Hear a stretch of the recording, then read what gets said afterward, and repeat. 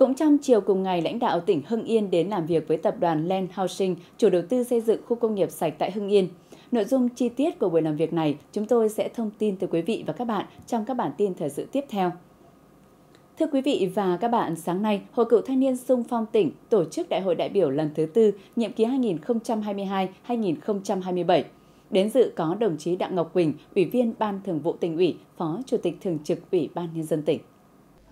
Nhiệm kỳ vừa qua, Hội Cựu Thanh niên Sung phong tỉnh Hưng Yên đã phát triển thêm hàng nghìn hội viên mới, tổng số hội viên trên toàn tỉnh hiện nay gần 10.000 người, tích cực chuẩn bị hồ sơ đề nghị cấp thẩm quyền công nhận phiên hiệu thanh niên sung phong cho các đơn vị của tỉnh Hưng Yên tham gia bảo vệ biên giới phía Bắc và phía Tây Nam sau năm 1975.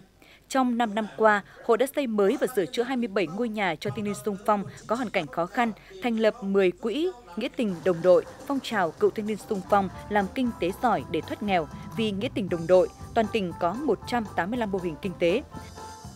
Phát biểu tại đại hội, đồng chí Đặng Ngọc Quỳnh đánh giá cao những nỗ lực của Hội Cựu Thanh niên Sung phong tỉnh trong nhiệm kỳ vừa qua. Đồng chí đề nghị trong nhiệm kỳ mới, các cấp hội phấn đấu thu hút 100% cựu thanh niên sung phong qua các thời kỳ vào sinh hoạt, giả soát các hội viên đủ tiêu chuẩn được hưởng chế độ chính sách của nhà nước, thường xuyên đổi mới phương thức hoạt động, tiếp tục quan tâm chăm lo đời sống các hội viên có hoàn cảnh khó khăn, đẩy mạnh công tác tuyên truyền các chủ trương đường lối của Đảng, chính sách pháp luật của nhà nước, các cấp các ngành quan tâm giúp đỡ tạo điều kiện để hội cựu thanh niên sung phong hoàn thành mục tiêu đã đề ra.